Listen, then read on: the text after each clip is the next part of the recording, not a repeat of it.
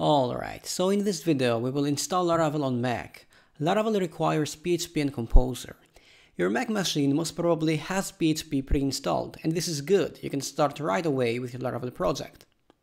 However, there is a catch. Your pre-installed PHP version is probably older than the one required for Laravel 5.3. So we will use the terminal to see which PHP version we own. First, let's make sure we have PHP pre-installed as I said earlier which PHP is the command that will tell us if we have PHP installed and which installed PHP is used. In this case, the pre-installed PHP that comes with the OS is used. My current OS is El Capitan and you can verify it right here. Okay, now let's see what PHP version we currently have available. PHP minus v. Okay, so the version is 5.5.36. Let's see whether this version is enough to start with Laravel 5.3. Well, it is not enough. The documentation says that PHP 5.6.4 or higher is required. Those in this case we need to upgrade. What about upgrading to PHP 7? Let's do it. I will download XAMPP with PHP 7. So let me do this. We will scroll down PHP 7. So make sure it is 7. Once it is downloaded, install it. The steps for the installation are very easy, just next. So we open this, it requires a password. So next, next, next, we will uncheck this, next, next. When the installation is done, the next step is to make sure that we have PHP 7 now. Uncheck this, and click finish. So back to the terminal and you already know the command php minus v. Okay, it looks like we still have the pre-installed PHP version. Let's verify it. Which PHP?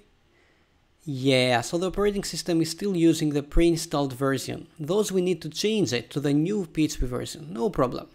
Clear the terminal. And open bash profile using vim. So, vim slash dot bash underscore profile. Press I on keyboard to insert a new line and you have to type here export path equals to so now we specify the path to PHP that we just installed with XAMPP. Applications, XAMPP with uppercases, XAMPP files, bin, and here dollar sign path. And that's all.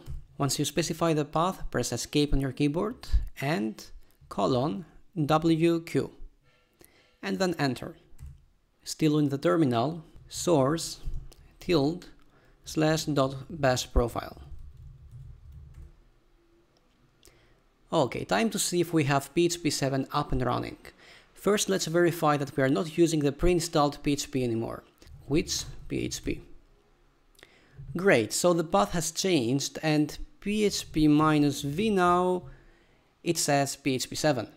So we successfully installed PHP 7. Now quickly let's install Composer. Here we have the commands required to install the latest Composer version. So let's copy this one. And this one requires sudo. The second one the third one. Sudo and the last one. Again sudo all right let's see if we can access composer. So it says no such file or directory and it gives us the path. Let's see what there is there. Usr local bin.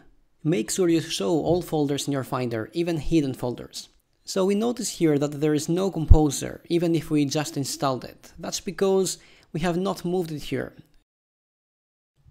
sudo mv composer.phar and we will move it to usr local bin composer. Let's go back and verify that the composer now is here. So let's run this. Composer, now it works. Let's finish this tutorial by installing Laravel 5.3. I will move to the folder where I keep my Laravel projects. So cd YouTube projects Laravel. The command to install a Laravel project now is very simple. So if you go here, this is the command. So let's try this. Composer create project Laravel Laravel and I will name this project Lara53. Once everything is installed, move inside the project, so cd Lara53 and run php artisan serve. This will give you a URL, so let's move to that one. Localhost 8000 and you just installed your first Laravel 5.3 application on Mac. Congratulations!